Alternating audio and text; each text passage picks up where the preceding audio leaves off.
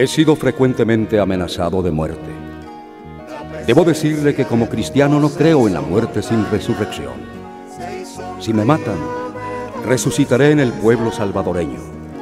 Se lo digo sin ninguna jactancia, con la más grande humildad. Como pastor, estoy obligado por mandato divino a dar la vida por quienes amo, que son todos los salvadoreños, aún por aquellos que vayan a asesinarme. Si llegaran a cumplirse las amenazas, desde ya ofrezco a Dios mi sangre por la redención y resurrección del Salvador.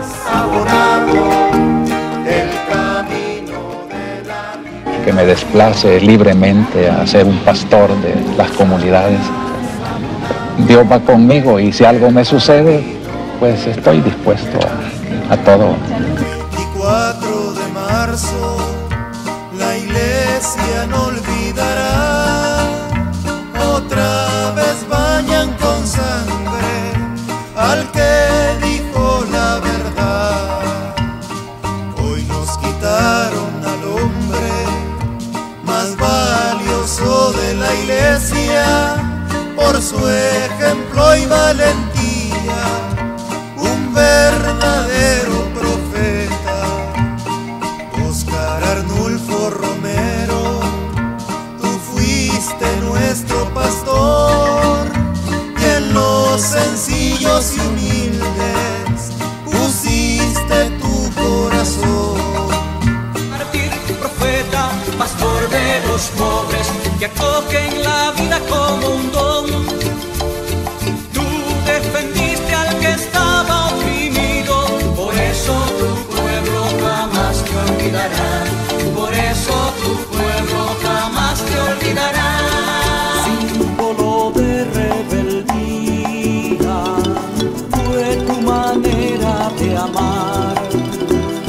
Serás por siempre profeta, guía de la libertad. En esos tiempos de guerra, tu valentía orientó la esperanza justiciera, gritando liberación. Entiendo cuando dicen que está muerto. Pues la razón siempre creo que le hemos señalado es la injusticia social, el aferramiento a mantener privilegios que ya no se pueden mantener porque el pueblo está muy concientizado.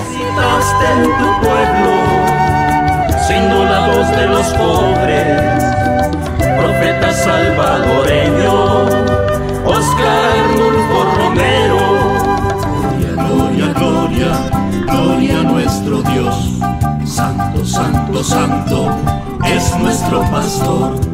Viva, viva, viva, proclamado fue por este pueblo que lucha buscando la paz. Recuerdo cuando llegabas allá por nuestros cantones a ver a los campesinos, a ver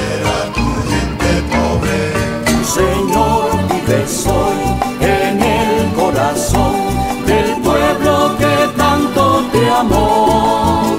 Con Señor, tu verdad nos hace marchar a la victoria final.